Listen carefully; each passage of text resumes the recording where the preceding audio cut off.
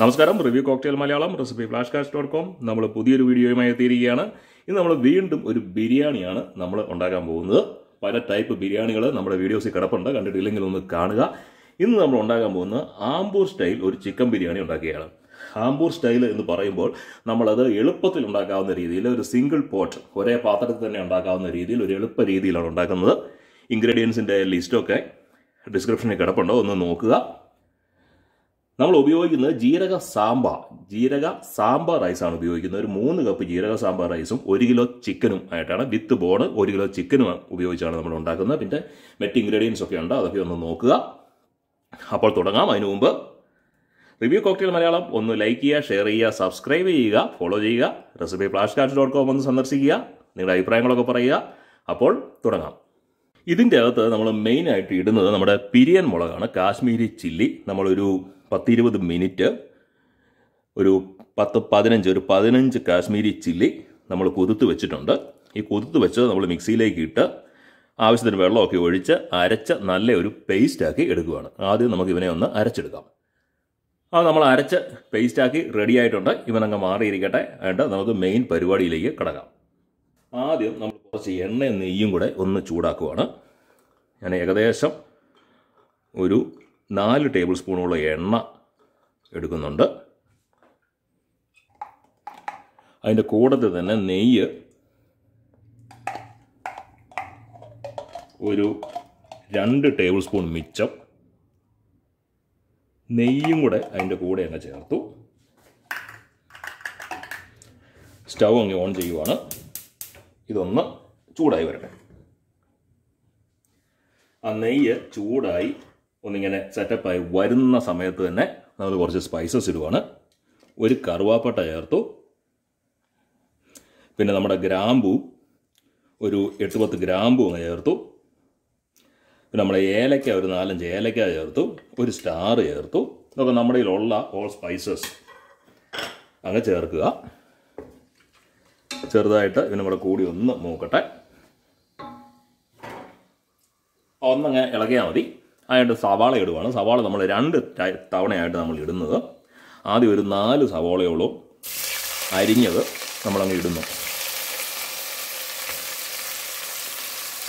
ഒരു നാല് സവാളയോളം അരിഞ്ഞത് ഇട്ടു. ഇനി ഇവൻ ചെറുതായിട്ടൊരു ഗോൾഡൻ കളർ ആകുന്നത് വരെ നമ്മൾ ഒന്ന് ഫ്രൈ ചെയ്യും. ഒത്തിരി അങ്ങോട്ട് ഗോൾഡൻ ഒന്നും ആകണ്ട. ചെറുതായിട്ട് ഒരു ഗോൾഡൻ കളർ ആകാൻ തുടങ്ങുമ്പോൾ നമ്മളൊരു മീഡിയം ഫ്ലെയിമിലാണ് കണ്ടിന്യൂ ചെയ്യുന്നത്. ഇതിപ്പം കണ്ടല്ലോ ഏകദേശം ഒരു ഗോൾഡൻ കളർ ആയിട്ടുണ്ട്. നമ്മൾ കരിച്ച് കറുത്ത കളറൊന്നും ആക്കിയില്ല. ഇത് മതി. ഞാൻ ലോ ഫ്ലെയിമിലേക്ക് മാറ്റി ലോ ഫ്ലെയിമിലേക്ക് മാറ്റിയിട്ട് നമ്മൾ വെളുത്തുള്ളി ഇഞ്ചിയും ചേർക്കാൻ പോവാണ്. വെളുത്തുള്ളി ഒരു ഇരുപതല്ലിയോളം വെളുത്തുള്ളി ഒന്ന് അരച്ച് വെച്ചിരിക്കുന്നതാണ്. ഒന്ന് അരച്ച് വെച്ച ഇരുപത് അല്ലിയോളം വെളുത്തുള്ളി ചേർത്തു. വെളുത്തുള്ളി ചേർത്തിട്ട് അതും കൂടെ കൂട്ടി ഒന്ന് വഴട്ടുക ഒരു കുറച്ച് നേരം ഒന്ന് വഴട്ടിയാൽ മതി. ഒരു ഒരു മിനിറ്റ് മിച്ചം ഒന്ന് രണ്ട് മിനിറ്റ് ഒന്ന് വഴട്ടുക അടുത്തത് ഇതുപോലെ തന്നെ നമ്മൾ ഇഞ്ചി അരച്ച് വെച്ചിരിക്കുന്നതാണ്. ഒരു രണ്ട് ഇഞ്ചോളം ഇഞ്ചി നമ്മൾ അരച്ച് റെഡിയാക്കി വെച്ചിരിക്കുന്നതും കൂടെ അതിന്റെ കൂടെ ചേർത്തു. അതും കൂടെ കൂട്ടി വീണ്ടും ഒരു കുറച്ച് സമയം ഒരു ഒരു മിനിറ്റ് മിച്ചം. ഒന്ന് രണ്ട് മിനിറ്റ് ഒന്ന് വഴട്ടുന്നു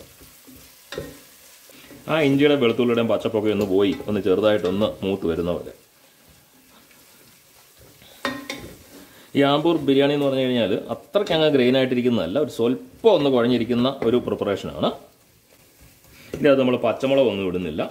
നമ്മൾ അരച്ച ഉണക്കമുളക്. നമ്മുടെ കാശ്മീരി ചില്ലി പിരിയൻ മുളക് ആണ് നമ്മൾ ചേർക്കുന്നത്. അപ്പോൾ ഇഞ്ചിയും കൂടെ ചേർത്ത് നമ്മളൊന്ന് വഴട്ടിയിട്ടുണ്ട് ഇനി ഒരു സഹലോടെ സവോള നമ്മൾ ചേർക്കുകയാണ് അതില്ല ഒരു ഒരു സവോള അരിഞ്ഞത്. ആ വറുത്തതല്ലാതെ ഒരു ശകലം ഫ്രൈ ചെയ്തതല്ലാതെ കുറച്ച് വഴണ്ട ഒരു കുറച്ച് സവോളയും കൂടെ നമ്മുടെ ഈ ബിരിയാണിക്ക് അത് കിടക്കും.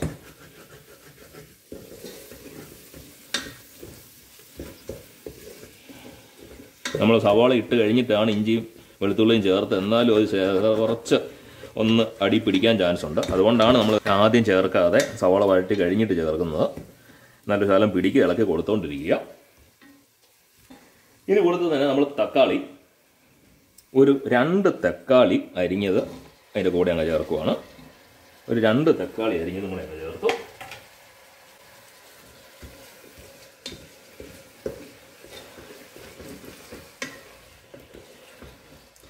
അതും കൂടെ ചേർത്ത് നമുക്ക് ഈ തക്കാളിയൊക്കെ ഒന്ന് ഉടഞ്ഞ് വെന്ത് വരണം. വരുന്നിടം വരെ നമ്മളൊരു ഒരു എട്ട് പത്ത് മിനിറ്റ് വേണ്ടി വരും. ചിലപ്പം ചൂടൊക്കെ കൂടുതലുണ്ടെങ്കിൽ അത്ര ഒന്നും വേണ്ടി വരുമല്ല എന്നാലും തക്കാളിയൊക്കെ ഒന്ന് ശരിക്കും ഒന്ന് ഉടഞ്ഞൊന്ന് റെഡി ആകുന്നിടം വരെ ഇതും കൂടെ കൂട്ടി നമ്മൾ വഴട്ട് വേണം. തക്കാളിയുടെ വെള്ളമയം കൂടെ വന്നു കഴിഞ്ഞപ്പം കണ്ടില്ലേ അടി പിടിച്ചിരുന്നൊക്കെ അവൻ വിട്ടുപോകുന്നു. തന്നെയല്ല നമ്മൾ ആവശ്യത്തിന് എണ്ണയും നെയ്യും ഒക്കെ ഒഴിച്ചിട്ടുമുണ്ട്. അപ്പോൾ ആ തക്കാളിയും കൂടെ ശരിക്കും ഒന്ന് വഴണ്ട് വെന്ത് വരട്ടെ. നമ്മൾ തക്കാളിയും കൂടെ ഒരു എട്ട് പത്ത് മിനിറ്റ് ഒന്ന് വഴറ്റി തക്കാളിയൊക്കെ ഏകദേശം ഒന്ന് വഴണ്ട് ഒന്ന് ഉടഞ്ഞ് വന്നിട്ടുണ്ട്. ഇനി നമ്മുടെ മെയിൻ ആയിട്ടുള്ള ഒരു ഇൻഗ്രീഡിയന്റ് ഇടുവാണ്. നമ്മൾ മുമ്പേ അരച്ച് വെച്ച നമ്മുടെ മുളക് നമ്മുടെ കാശ്മീരി ചില്ലി മുളക് ശരിക്കും അരച്ചത് നമ്മൾ ഇതിന്റെ കൂടെ അങ്ങ് ചേർത്തു. നമ്മൾ പച്ചമുളക് ഒന്നും ചേർക്കുന്നില്ല. ഇതിന്റെ അകത്ത് കൊതുത്ത് വെച്ച് അരച്ച പിരിയമുളക് കാശ്മീരി ചില്ലി പൗഡറാണ് ചേർക്കുന്നത്. അരച്ച പേസ്റ്റ് അങ്ങ് ചേർത്തു. ചേർത്തിട്ടൊരു രണ്ട് മിനിറ്റ് കൂടി ഒന്ന് വഴട്ടുക മീഡിയം ഫ്ലെയിമിലാണ് ഇപ്പോൾ ഞാൻ നിൽക്കുന്നത്. ഒരു രണ്ട് മിനിറ്റ് കൂടെ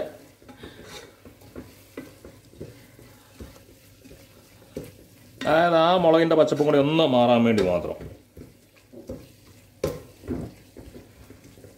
ഇതിൽ കുറച്ച് സ്പൈസി ആയിട്ടുള്ള ഒരു ബിരിയാണിയാണ്. ഇപ്പോൾ ആ മുളകും കൂടെ ചേർത്ത് നമ്മളൊന്ന് ശരിക്കും ഒന്ന് വഴട്ടി റെഡിയാക്കിയിട്ടുണ്ട്. അരച്ച മുളകും കൂടെ ചേർത്ത് ഒന്ന് വഴട്ടി റെഡിയാക്കിയിട്ടുണ്ട്. ഇനി നമ്മൾ കുറച്ച് തൈര് ചേർക്കുവാണ്. ഏകദേശം ഒരു നാല്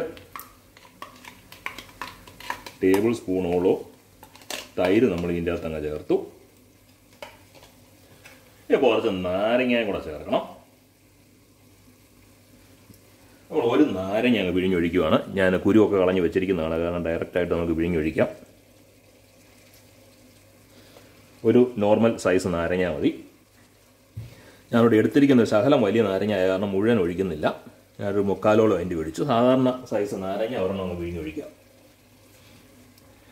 ഇത് രണ്ടും കൂടെ കൂട്ടി ശരിക്കും ഒന്ന് ഇളക്കി യോജിപ്പിക്കുക. അധികം നേരം വഴട്ടൊന്നും വേണ്ട. ഒന്ന് ഇളക്കി യോജിപ്പിച്ചാൽ മതി. ആ തൈര് ഒഴിക്കുമ്പോൾ ഒന്ന് അടിച്ചിട്ട് ഒഴിക്കുവാണെങ്കിൽ നമുക്ക് പിരിയാതെ കിട്ടും. ഇത് നമ്മൾ ലോ ഫ്ലെയിമിൽ വെച്ച് പെട്ടെന്ന് ഒഴിച്ചതാണ്. കുഴപ്പമില്ലാതെ കിട്ടിയിട്ടുണ്ട്. ഇനി ചിക്കൻ ഇടുവാണ്. ഒരു കിലോ ചിക്കൻ നമ്മൾ ബിരിയാണി സൈസ് പീസാക്കിയത് കഴുകി വൃത്തിയാക്കി വെച്ചിട്ടുണ്ട്. ചിക്കൻ അങ്ങ് ഇട്ടു. ചിക്കൻ ഇട്ടിട്ട് നന്നായിട്ട് ഇളക്കി ഒരു അഞ്ച് മിനിറ്റ് ഇവനെ ഇങ്ങനെ അങ്ങ് വേവിക്കും. നമ്മൾ ലാവിഷായിട്ട് ചിക്കൻ ഇടുന്നുണ്ട്. മൂന്ന് കപ്പിന് നമ്മൾ ഒരു കിലോ ചിക്കൻ ഇട്ടു. ഒരു കിലോ ചിക്കന് നമ്മൾ സാധാരണ ഉണ്ടാക്കുമ്പോൾ വേണമെങ്കിൽ ഒരു കിലോ അരി തന്നെ എടുക്കാം. പക്ഷേ ഞാൻ ഒരു കിലോ അരി എടുത്തില്ല. കാരണം പീസ് വേണ്ടി ആരും വഴക്കുണ്ടാക്കാതിരിക്കാൻ വേണ്ടി ആ ലാവിഷായിട്ട് പീസൊക്കെ കിട്ടാൻ വേണ്ടി ചിക്കൻ കൂടുതൽ ഇട്ടിട്ടുണ്ട്. ഒരു അഞ്ച് മിനിറ്റ് ഒന്ന് വേവിക്കുക. പിന്നെ ഒന്ന് ഈ മസാലയ്ക്കകത്ത് കിടന്ന് ഈ മസാലയൊക്കെ അവനോട് ഒന്ന് പിടിച്ച് റെഡിയാകാൻ വേണ്ടിയാണ്. പിന്നെ നമ്മൾ അവസാനം വെള്ളം ഒഴിക്കാൻ പോകുന്നത് നാല് കപ്പ് വെള്ളം ഒഴിക്കും. മൂന്ന് കപ്പ് അരിയാണ് എടുത്തിരിക്കുന്നത്. നാല് കപ്പ് വെള്ളം ഒഴിക്കുന്നുള്ളൂ. കാരണം ചിക്കന്റെ അകത്തുനിന്ന് വെള്ളം വരുന്നുണ്ട്. പിന്നെ നമ്മുടെ അരപ്പുകൾക്കകത്തൊക്കെ വെള്ളമുണ്ട് തക്കാളിക്കകത്ത് വെള്ളം ഉണ്ടായിരുന്നു. പിന്നെ നമ്മൾ വാങ്ങിക്കുന്ന അരിയുടെ പരുവൊക്കെ അനുസരിച്ച് ശകലം അളവ് അങ്ങോട്ടും ഇങ്ങോട്ടും ഒക്കെ ഇരിക്കും. ഞാൻ നമ്മുടെ നോർമൽ ജീരക സാമ്പ അരിയാണ് വാങ്ങിച്ചിരിക്കുന്നത്. ഇതിന്റെ തന്നെ പല വെറൈറ്റികൾ ഇങ്ങനെ കടയിൽ ചെന്നപ്പം കണ്ടു. അപ്പോൾ അതൊക്കെ അനുസരിച്ച് നമുക്ക് കിട്ടുന്ന വെറൈറ്റി അനുസരിച്ച് വെള്ളത്തിന്റെ അളവ് ശകലം ഒന്ന് മാറും. എന്നാലും ഏകദേശം ഈ അളവിലൊക്കെ തന്നെയാണ്. ഒരു അഞ്ച് മിനിറ്റ് ഒന്ന് വേവട്ടെ. ഒരു അഞ്ച് മിനിറ്റ് കിടന്നെല്ലാം ഒന്ന് പിടിച്ചു. പിടിച്ച് കഴിയുമ്പോൾ നമ്മൾ ഉപ്പിടുവാണ്. നമുക്ക് അവസാനം ഒന്നുകൂടെ നമുക്ക് ഉപ്പ് നോക്കി നമുക്ക് ആവശ്യത്തിന് ഇടാം. ഇപ്പോൾ ഒരു കുറച്ച് ഉപ്പ് ഞാൻ ഇട്ടു. എന്റെ വെള്ളമൊക്കെ ഒഴിച്ച് കഴിഞ്ഞിട്ട് നമുക്ക് അരിക്കും കൂടി ആവശ്യമുള്ള ഉപ്പുണ്ടോ എന്ന് നോക്കി നമ്മൾ ഒന്നുകൂടി ഉപ്പിടും. ഉപ്പിട്ടങ്ങ് ഇളക്കുന്നു. ഇനി കുറച്ച് മല്ലിയില ഒരു പിടി മല്ലിയില ഞാൻ വേണമെങ്കിൽ കുറച്ച് പുതിനയിലയും കൂടി ഇടാം. എനിക്ക് പുതിനയില അത്ര താല്പര്യമില്ലാത്ത കാരണം ഞാൻ പുതിനയില ഇടുന്നില്ല. ഞാൻ മല്ലിയില ഇടുന്നുള്ളൂ. മല്ലിയില ഇട്ട് ഒന്ന് ഇളക്കി കൊടുക്കുക. മല്ലിയില ഇട്ടങ്ങ് ഇളക്കി. ഇനി ഞാനൊരു നാല് കപ്പ് വെള്ളം അളന്ന് വെച്ചിട്ടുണ്ട്. ഒരു നാല് കപ്പ് വെള്ളം അങ്ങ് ഒഴിച്ചു. ആ വെള്ളം ചെറുതായിട്ട് ഒന്ന് സൈഡിൽ കൂടെയൊക്കെ ഒന്ന് തിളച്ച് വരാൻ തുടങ്ങട്ടെ. ചൂടാകട്ടെ. അത് സൈഡിൽ നിന്നൊക്കെ ഒന്ന് തിളച്ച് വരാൻ തുടങ്ങിയിട്ടുണ്ട്. അത് മതി. അപ്പം നമ്മൾ മൂന്ന് കപ്പ് അരി ജീരക സാമ്പ അരി കഴുകി വൃത്തിയാക്കി വെച്ചിരിക്കുന്നതാണ്. കഴുകി വെച്ചിരിക്കുന്ന മൂന്ന് കപ്പ് ജീരക സാമ്പ റൈസ് അതിലേക്കിട്ടു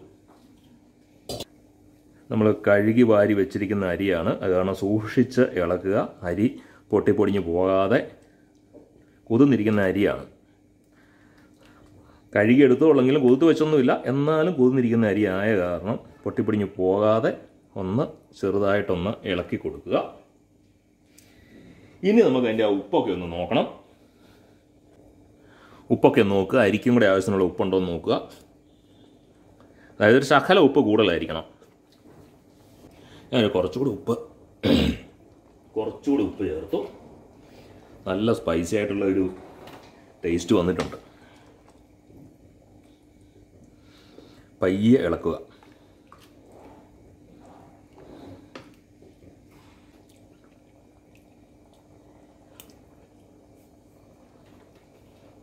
കുറച്ചുകൂടെ വേണമെന്ന് തോന്നുന്നു. ഞാനത് കുറച്ചുകൂടെ ഉപ്പിട്ടു. ഇളക്കി കൊടുക്കുക. എന്നിട്ടൊരു അഞ്ച് മിനിറ്റ് അവനൊന്ന് വേവട്ടെ. നമ്മളൊരു അഞ്ച് മിനിറ്റ് അതിനെ വേവിച്ചു. വളരെ ജെന്റിലായിട്ട് പയ്യെ ഒന്നുകൂടി ഒന്ന് ഇളക്കുക. ഇപ്പം കണ്ടോ ഇതാണ് ഇപ്പോഴത്തെ അരിയുടെ ഒരു പരുവം. ഒന്നുകൂടി ഒന്ന് ഉപ്പ് നോക്കിയേക്കാം നമുക്ക് ആവശ്യമുണ്ടോ എന്ന് ഉപ്പൊക്കെ ആവശ്യത്തിനുണ്ട് ഇനി ആ ലോ ഫ്ലെയിമിലേക്ക് അങ്ങ് മാറ്റി. ലോ ഫ്ലെയിമിലേക്ക് മാറ്റി നമ്മൾ ഇവനെ അടച്ചു വെച്ച് അങ്ങ് വേവിക്കുവാണ്. എന്നിട്ട് നമ്മളങ്ങ് അടച്ചു വെച്ച് കുറച്ച് നേരം വേവിക്കുകയാണ് നന്നായിട്ട് ടൈറ്റായിട്ട് അടയുന്ന ഒരു അടപ്പ് അടപ്പങ്ങ് വെക്കുക. നമ്മൾ വീണ്ടും ഇതിനെ ദം ചെയ്യുന്നൊന്നുമില്ല. ശരിക്കും അങ്ങ് ടൈറ്റായിട്ട് അങ്ങ് അടച്ചു വെക്കുക. ഒരു പതിനഞ്ച് മിനിറ്റോളം ലോ ഫ്ലെയിമിൽ അവൻ അവിടെ ഇരിക്കട്ടെ. അപ്പോൾ നമ്മളൊരു പതിനഞ്ച് മിനിറ്റ് ലോ ഫ്ലെയിമിൽ വെച്ചിട്ടുണ്ട്. ഞാൻ സ്റ്റവ് അങ്ങ് ഓഫ് ചെയ്തു. ഇനി നമ്മളിപ്പോൾ ഇത് തുറക്കുന്നില്ല. ഒരു പതിനഞ്ച് മിനിറ്റ് ഇവൻ ഇരുന്ന് തണുക്കട്ടെ. സ്റ്റവിന് ചൂടുണ്ടെങ്കിൽ സ്റ്റവിൽ നിന്ന് എടുത്ത് മാറ്റി വെക്കുക. ഒരു പതിനഞ്ച് മിനിറ്റ് നമുക്ക് ഇവനെ എടുത്ത് മാറ്റി വെച്ച് ഒന്ന് തണുപ്പിച്ച് സെറ്റാക്കി എടുക്കാം. സ്റ്റവിൽ നിന്ന് മാറ്റി ഒരു പതിനഞ്ച് മിനിറ്റ് അവനവിടെ ഇരിക്കട്ടെ. നമുക്ക് അവനെ ഒന്ന് തുറന്ന് റെഡിയാക്കാം.